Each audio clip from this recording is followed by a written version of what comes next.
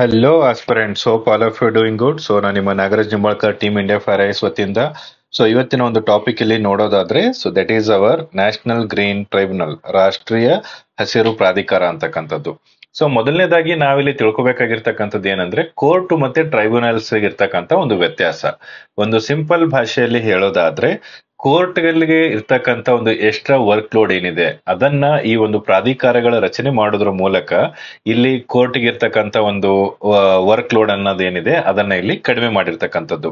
ಆ ನಿಟ್ಟಿನಲ್ಲಿ ನಮ್ಮ ನ್ಯಾಷನಲ್ ಗ್ರೀನ್ ಟ್ರೈಬ್ಯುನಲ್ ಅಂತಕ್ಕಂಥದ್ದು ಅಥವಾ ನಮ್ಮ ರಾಷ್ಟ್ರೀಯ ಹಸಿರು ಪ್ರಾಧಿಕಾರ ಒಂದು ಉದಾಹರಣೆ ಆಗಿದೆ.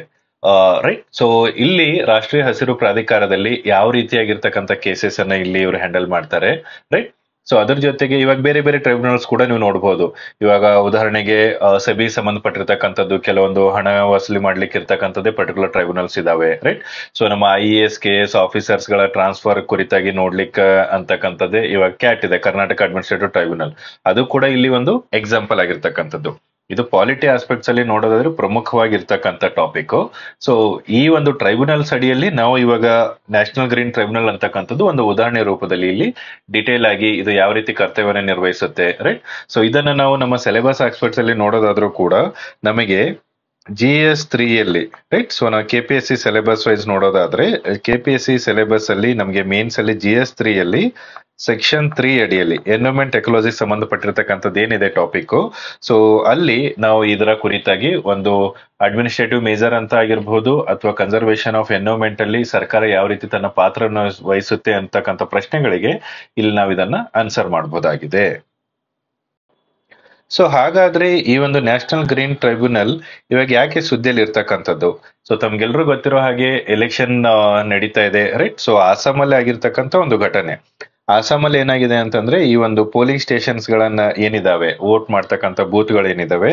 ಸೊ ಅದನ್ನ ಇಲ್ಲಿ ನ್ಯಾಷನಲ್ ಗ್ರೀನ್ ಟ್ರೈಬ್ಯುನಲ್ ಏನ್ ಮಾಡಿದೆ ಅಂತಂದ್ರೆ ಅಸ್ಸಾಂ ಚೀಫ್ ಸೆಕ್ರೆಟರಿ ಅವರಿಗೆ ಒಂದು ಲೆಟರ್ನ ಬರ್ದಿರ್ತಕ್ಕಂಥದ್ದಿದೆ ರೈಟ್ ಸೊ ಈ ಒಂದು ಪೋಲಿಂಗ್ ಬೂತ್ ಗಳೆಲ್ಲ ಅಥವಾ ಶಾಲೆಗಳೆಲ್ಲ ಏನಾಗ್ತಾ ಇದೆ ಅಂತಂತಂದ್ರೆ ಈ ವೈಲ್ಡ್ ಲೈಫ್ ಸೆಂಚುರಿ ಅಥವಾ ರಿಸರ್ವ್ ಫಾರೆಸ್ಟ್ ಏರಿಯಾದಲ್ಲಿ ಇದನ್ನ ರಚನೆ ಮಾಡಿರ್ತಕ್ಕಂಥದ್ದು. ಅಲ್ಲಿ ಕೆಲವೊಂದು ಟೆಂಪ್ರವರಿಯಾಗಿ ರಚನೆ ಮಾಡಿರ್ತಕ್ಕಂಥದ್ದಿದೆ ಕೆಲವೊಂದು ಶಾಲೆಗಳ ನಿರ್ಮಾಣ ಆಗಿರ್ತಕ್ಕಂಥದ್ದಿದೆ ಸೊ ನೀವು ಮರ ಗಿಡಗಳನ್ನ ಕಡೆದು ಪರಿಸರವನ್ನ ನಾಶ ಮಾಡಿ ಇಲ್ಲಿ ಈ ರೀತಿ ಪೋಲಿಂಗ್ ಬೂತ್ ಗಳನ್ನ ಸ್ಥಾಪನೆ ಮಾಡುವ ಅವಶ್ಯಕತೆ ಇತ್ತ ಅಂತಕ್ಕಂಥದ್ದು ಈ ಕುರಿತಾಗಿ ಅವರು ಒಂದು ಎಕ್ಸ್ಪ್ಲನೇಷನ್ ಅನ್ನ ಕೇಳಿರೋದಿದೆ. ಸೊ ನಮಗೆ ಅದು ಜಸ್ಟ್ ಒಂದು ಕಂಟೆಕ್ಸ್ಟ್ ಆಗಿ ಇಲ್ಲಿ ನಾವು ಅದನ್ನು ನೋಡ್ತೀವಿ. ಬಟ್ ನಮಗೆ ಆಕ್ಚುಲ್ ಆಗಿ ಇಲ್ಲಿ ಟಾಪಿಕ್ ಇರ್ತಕ್ಕಂಥದ್ದು ನ್ಯಾಷನಲ್ ಗ್ರೀನ್ ಟ್ರೈಬ್ಯುನಲ್ ರಾಷ್ಟ್ರೀಯ ಹಸಿರು ಪ್ರಾಧಿಕಾರ. So team India for I S ಇತ್ತಿಂದ ಒಂದು ಅನೌನ್ಸ್ಮೆಂಟ್ ಅಲ್ಲಿ ನೋಡೋದಾದ್ರೆ ಹೊಸ ಐ ಎಸ್ ಸಂಬಂಧಪಟ್ಟಿರ್ತಕ್ಕಂಥ ಜನರಲ್ ಸ್ಟಡೀಸ್ ಬ್ಯಾಚ್ ಇಲ್ಲಿ ಸ್ಟಾರ್ಟ್ ಆಗ್ತಾ ಇದೆ. ಸೊ ಇದರ ಹೆಚ್ಚಿನ ಮಾಹಿತಿಯನ್ನ ನೀವು ಅಕಾಡೆಮಿಗೆ ಭೇಟಿ ನೀಡೋ ಮುಖಾಂತರ ಅಥವಾ ಈ ಒಂದು ಅಕಾಡೆಮಿ ನಂಬರ್ ಮೇಲೆ ನೀವು ಕಾಲ್ ಮಾಡಿ ಮಾಹಿತಿಯನ್ನ ಪಡಿಬಹುದಾಗಿದೆ.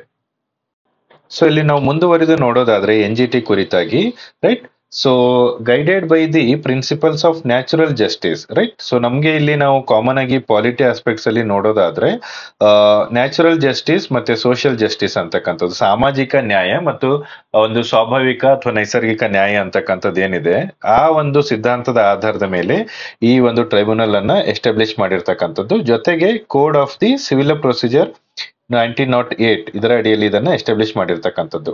ಸೊ ಈ ಒಂದು ಪ್ರಾಧಿಕಾರ ಪ್ರಮುಖ ಕೆಲಸ ಏನಂದ್ರೆ ಡೆಡಿಕೇಟೆಡ್ ಟು ಎನ್ವೈರನ್ಮೆಂಟಲ್ ಜ್ಯೂರಿಡಿಕ್ಷನ್ ಪರಿಸರಕ್ಕೆ ಸಂಬಂಧಪಟ್ಟಿರ್ತಕ್ಕಂಥ ಯಾವುದೇ ಒಂದು ವಿಷಯಗಳಿದ್ರೂ ಕೂಡ ಅದಕ್ಕೆ ಸಂಬಂಧಪಟ್ಟಿರ್ತಕ್ಕಂಥ ಕೇಸಸ್ ಗಳೇನಿದಾವೆ ಇವನ್ ಅದು ಹೈಕೋರ್ಟಿಗೆ ಹೋಗಿರ್ಬೋದು, ಸುಪ್ರೀಂ ಕೋರ್ಟಿಗೆ ಹೋಗಿರ್ಬೋದು, ಅದೆಲ್ಲವೂ ಕೂಡ ಈ ಒಂದು ಎನ್ ಜಿ ಟ್ರಾನ್ಸ್ಫರ್ ಆಗುತ್ತೆ. ಸಿ ಎರಡು ಆಸ್ಪೆಕ್ಟ್ಸ್ ಇದೆ. ಒಂದು ಡೈರೆಕ್ಟ್ ಆಗಿ ಎನ್ ಜಿ ನಾವು ಅಲ್ಲಿ ನಮ್ಮ ಅಪ್ಲಿಕೇಶನ್ ಏನಿದೆ ಅಥವಾ ನಮ್ಮ ಒಂದು ಮನವಿ ಏನಿದೆ ಅದನ್ನ ನಾವು ಎನ್ ಜಿ ಟಿಗೆ ಸಲ್ಲಿಸಬಹುದು ಇಲ್ಲ ನಾವು ಕೋರ್ಟ್ ಮುಖಾಂತರ ಹೋದ್ರೂ ಕೂಡ ಸುಪ್ರೀಂ ಕೋರ್ಟ್ ಅಥವಾ ಹೈಕೋರ್ಟ್ ಅದು ಕೂಡ ಎನ್ ಜಿ ಟಿಗೆ ಆ ಫೈಲ್ ಗಳನ್ನ ಟ್ರಾನ್ಸ್ಫರ್ ಮಾಡುತ್ತೆ.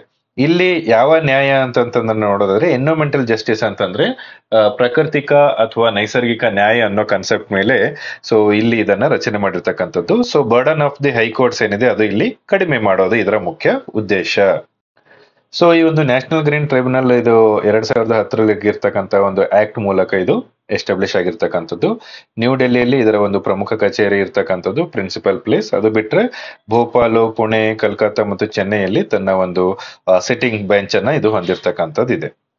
ಸೊ ಇದರ ಒಂದು ಕಾಂಪೋಸಿಷನ್ ನೋಡೋದಾದ್ರೆ ಚೇರ್ ಪರ್ಸನ್ಸ್ ಇರ್ತಾರೆ ಜುಡಿಷಿಯಲ್ ಮೆಂಬರ್ಸ್ ಇರ್ತಾರೆ ಎಕ್ಸ್ಪರ್ಟ್ಸ್ಗಳು ಇರ್ತಾರೆ ಐದು ವರ್ಷ ಅವಧಿಗೆ ಇರ್ತಾರೆ right so not eligible for the reappointment ಈ ಒಂದು ಟಾಪಿಕ್ಕಿನ ಕಂಪ್ಲೀಟ್ ಹ್ಯಾಂಡ್ ಔಟ್ ಅನ್ನ ನೀವು team India for I S the Telegram channel ಅಲ್ಲಿ ಇದನ್ನ ನೀವು ಪಡಿಬಹುದಾಗಿದೆ. ರೈಟ್ ಸೊ ಇಲ್ಲಿ ಚೇರ್ಮನ್ ಅನ್ನ ಯಾರು ಅಪಾಯಿಂಟ್ ಮಾಡ್ತಾರೆ ಅಂತಂದ್ರೆ that is right central government in consultation with the chief justice of India so ಈ ಒಂದು ಕಾಂಪೋಸಿಷನ್ ಏನಿದೆ examination point of view specially films ಅಲ್ಲಿ ಇದನ್ನ ಕೇಳುವ ಸಾಧ್ಯತೆಗಳು ಜಾಸ್ತಿ ಇದಾವೆ. ಸೊ ಇವರ ಒರಿಜಿನಲ್ ಪವರ್ಸ್ ಅಂಡ್ ಜೂರಿಡಿಕ್ಷನ್ ಅಂತ ಅಥಾರಿಟಿ ಅಂತ ನಾವಿಲ್ಲಿ ನೋಡೋದಾದ್ರೆ, ಮೊದಲನೇದಾಗಿ ಪರಿಸರ ರಕ್ಷಣೆ ಸಂಬಂಧಪಟ್ಟಿರ್ತಕ್ಕಂಥ ಕಾನೂನುಗಳು ರೈಟ್ ಸೊ ಅದ್ರ ಜೊತೆಗೆ ಈ ಒಂದು ವಾಟರ್ ರೈಟ್ ಸೊ ವಾಯು ಮಾಲಿನ್ಯ ಜಲ ಮಾಲಿನ್ಯ ಇವೆಲ್ಲವೂ ಏನಿದಾವೆ? ಈ ಎಲ್ಲಾ ಕಾನೂನುಗಳ ಅಡಿಯಲ್ಲಿ ಇವರು ಇಲ್ಲಿ ತಮ್ಮ ಜಸ್ಟಿಸ್ ಅನ್ನ ಇಲ್ಲಿ ನೀಡ್ತಕ್ಕಂಥದ್ದು.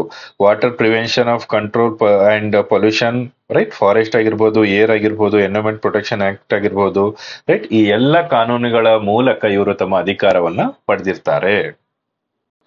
ಸೊ ಹಾಗಾದ್ರೆ ಈ ಒಂದು ಎನ್ ಜಿ ಟಿ ನೀಡ್ತಕ್ಕಂಥ ನಿರ್ಧಾರಗಳು ಏನಿದಾವೆ? ಡಿಸಿಷನ್ ಅಥವಾ ಜಜ್ಮೆಂಟ್ ಏನಿದೆ? ಇದು ಬೈಂಡಿಂಗ್ ಇದೆಯಾ ಇಲ್ವಾ ಅಂತ ನೋಡೋದಾದ್ರೆ yes it is purely binding ನಮ್ಮ ಮುಖ್ಯ ಉದ್ದೇಶ ಇರ್ತಕ್ಕಂಥದ್ದು ಏನಿದೆ? ಹೈಕೋರ್ಟ್ ಟೋಟಲ್ ಕೋರ್ಟ್ ಇಲ್ಲಿ ಬರ್ಡನ್ ಅನ್ನ ಕಡಿಮೆ ಮಾಡ್ತಕ್ಕಂಥದ್ದು.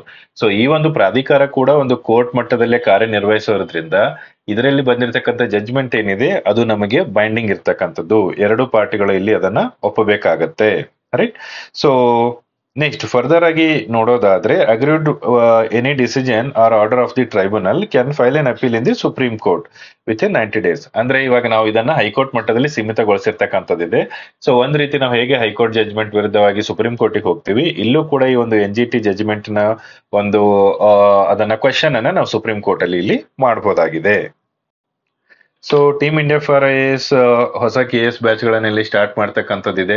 ಸೊ ಈ ನಿಟ್ಟಿನಲ್ಲಿ ಹೆಚ್ಚಿನ ಮಾಹಿತಿಗಾಗಿ ನೀವು ಅಕಾಡೆಮಿಗೆ ಬೇಕಾದ್ರೂ ಭೇಟಿ ನೀಡಬಹುದು ಅಥವಾ ಅಕಾಡೆಮಿಕ್ ನಂಬರ್ ಮೇಲೆ ನೀವು ಕೂಡ ಕಾಂಟ್ಯಾಕ್ಟ್ ಮಾಡಬಹುದಾಗಿದೆ so this is all about N G T ರಾಷ್ಟ್ರೀಯ ಹಸಿರು ಪ್ರಾಧಿಕಾರ ರೈಟ್ ಸೊ ಇದರ ರಚನೆ, ಇದರ ಪ್ರಮುಖ ಕಾರ್ಯಗಳು ರೈಟ್ ಸೊ ಅದನ್ನ ನೀವು ಜಿ ಎಸ್ ಪೇಪರ್ ತ್ರೀ ಅಲ್ಲಿ specially environment technology section three ಅಡಿಯಲ್ಲಿ ಇದನ್ನ ನೀವು ಬಳಸ್ಕೊಂಡು ಪರಿಸರಕ್ಕೆ ಸಂಬಂಧಪಟ್ಟಿರ್ತಕ್ಕಂಥ ಯಾವುದೇ ಒಂದು ಪ್ರಶ್ನೆಗಳಿದ್ದಾಗ ಅದನ್ನ ನೀವು ಈ ಒಂದು ಎನ್ ಜಿ ಟಿ ಸಹಾಯದೊಂದಿಗೆ ಒಂದು ಉದಾಹರಣೆ ರೂಪದಲ್ಲಿ ಅಲ್ಲಿ ಎಕ್ಸ್ಪ್ಲನೇಷನ್ ಅನ್ನ ನೀವು ನೀಡಬಹುದಾಗಿದೆ ಫರ್ದರ್ ಏನೇ ಡೌಟ್ಸ್ ಇದ್ರೂ ಕೂಡ ಕಮೆಂಟ್ ಬಾಕ್ಸ್ ಅಲ್ಲಿ ತಿಳಿಸಿ. Thank you